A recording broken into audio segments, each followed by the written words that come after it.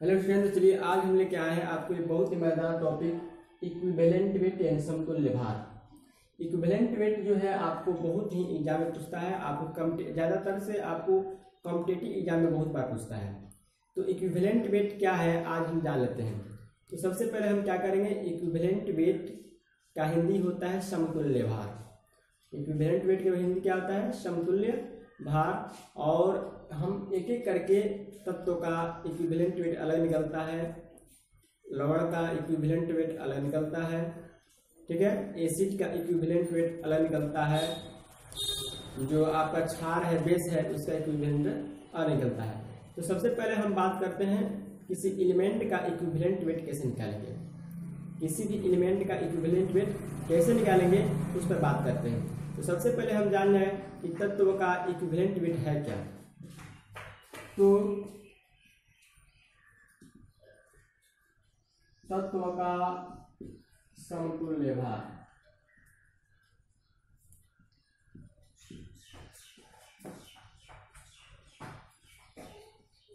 Equivalent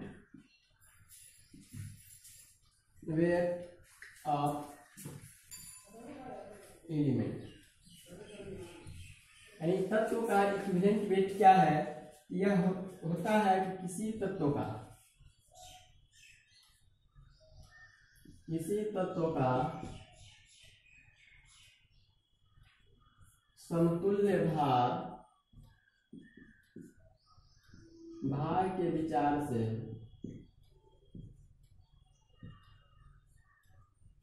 भार के विचार से वह भाग है। जो हाइड्रोजन के हाइड्रोजन के एक भाग ऑक्सीजन के ऑक्सीजन के आठ भाग तथा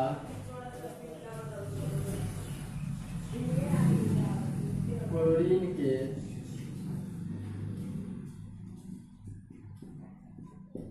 क्लोरीन के पैंतीस पॉइंट पाँच भाग पैंतीस पॉइंट पाँच भाग से संयोग करता है या उनके यौगिक से से विस्थापित करता है।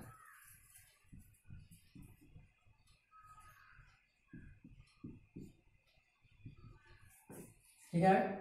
यह हो गया किसी एलिमेंट का इक्विवेलेंट वेट यानी किसी भी एलिमेंट का इक्विवेलेंट वेट कहता है कि मास के विचार से, मास के विचार से उसका वह पार्ट्स होता है जो हाइड्रोजन के एक भाग ऑक्सीजन के आठ भाग और क्लोरीन के पैंतीस पॉइंट पाँच भाग से क्या करता है। कंबाइन करता है या डिस कंबाइन करता है या क्या होता है? डिस्प्लेस्ड यानी कि क्या होता है? विस्थापित होता है। क्या होता है? विस्थापित डिस्प्लेस्ड हो जाता है।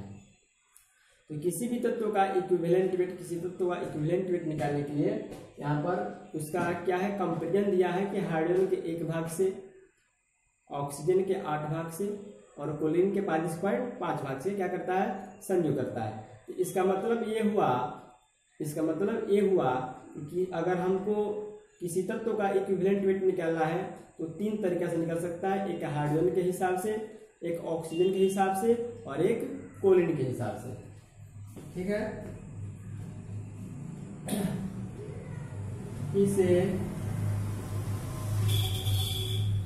ई द्वारा सूचित किया जाता है।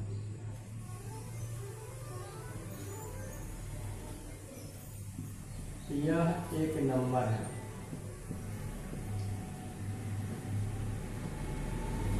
यह एक क्या है? संख्या इक्विवेलेंट वेट को बड़ा लेटर ई से डिनोट किया जाता है। ई का मतलब हो गया इक्विवेलेंट वेट ई का मतलब क्या हुआ? इक्विवेलेंट वेट और इक्विवेलेंट वेट क्या है? एक नंबर है। इसका यूनिट नहीं होता है।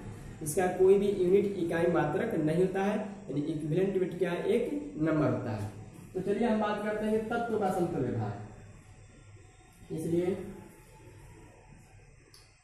तत्व का समतुल्य भार अभी हमने पढ़ा कि तत्व का समतुल्य भार जो होता है, किसी तत्व का समतुल्य भार भार के विचार से हाइड्रोजन के एक भाग, ऑक्सीजन के आठ भाग और क्लोरीन के पॉइंट पाँच भाग से क्या करता है? संयोग करता है। तो तत्व का भार बटा हाइड्रोजन। बटा हाइड्रोजन का भार हाइड्रोजन कितने भाग से? हाइड्रोजन के एक भाग से गुणा वन फिर लिख सकते हैं। तत्व का भार बटा हाइड्रोजन क्या है? ऑक्सीजन ऑक्सीजन का भार इंटू कितने भाग? आठ भाग। ये हो गया आठ। थर्ड वाला तत्व का भार, बटा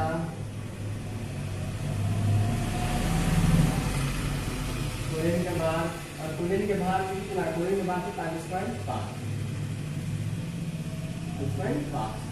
यानी कि किसी एलिमेंट का इक्विवेलेंट वेट निकालना है तो तीन तरीका है। हाइड्रोजन का मास और तत्व का मास पता है, हाइड्रोजन का भार। तो इसके कंपेरिजन में इस फॉर्मूले का यूज़ करेंगे। इस फॉर्मूले का अगर ऑक्सीजन के रिस्पेक्ट में आता है तो इस फॉर्मूले का यूज़ करेंगे और अगर कोलिन के रिस्पेक्ट में आता है तो इस फॉर्मूले का यूज़ करेंगे पहले अभी ना मैंने क्या किया अभी मैं आपको बेसिक बता रहा हूँ बाद में इसकी नोमिकल सूत्र कराऊँगा अभी तो नोमिकल नहीं करा सकता क्योंकि सबसे पहले इसका मेन है कि बेस पहले बेस को हम जान लें किस पैटर्न पर बना रहे हैं किस पैटर्न पर समझा रहे हैं इस पैटर्न के आधार से आपको नोमिकल में बताऊँगा तो अभी क्या है हार्डवेयर के रिस्पेक्ट में है तो फॉर्मूला ए हो जाएगा भार हार्डवेयर भार इंटू वन और अगर ऑक्सीजन के रिस्पेक्ट में है तो यह तत्व का भार बट्टा ऑक्सीजन भार इंटू एट और तत्व का भार बट्टा क्लोरीन भार इंटू पैंतीस पॉइंट पाँच किसके कोलिन के रिस्पेक्ट में। यह आपका हो गया तीन फार्मूला क्या हुआ? तीन फार्मूला हुआ। यह किसके हिसाब से है? मास के हिसाब से है। इसके हिसाब से, मास के हिसाब से, भार के हिसाब से आपको बताया गया है। अब मैं आपको अणु के हिसाब से, यानी कि आयतन के हिसाब से मैं बताऊँगा यह तो जब मास कहेगा तो मास के हिसाब से इसके फॉर्मूले का हम यूज़ कर सकते हैं। तो चलिए मास के हिसाब से नेक्स्ट टॉपिक में बताऊँगा। अभी मैं आपको क्या बता रहा हूँ इसके हिसाब से मैं क्या कहूँ आप कुछ नोमेंट बता रहा हूँ। इन ती, तीनों फॉर्मूला मैंने लिखा तत्वों का भार घड़ों का भार तत्वों का भार बटा भार इंटू एट तत्वों का भार बटा भार इंटू पाँच पॉइंट पाँच। तो इन तीनों का पैटर्न पर इन तीनों का पैटर्न पर मैं आपको नोमिकल बता रहा हूँ। तो जैसे ही आपको हाइड्रोजन के रेस्पेक्ट में कहेगा फार्मूला वन ऑक्सीजन के रिस्पेक्ट में फॉर्मूला टू और क्लोरीन के रिस्पेक्ट में था पैंतीस पॉइंट पाँच यूज़ करेंगे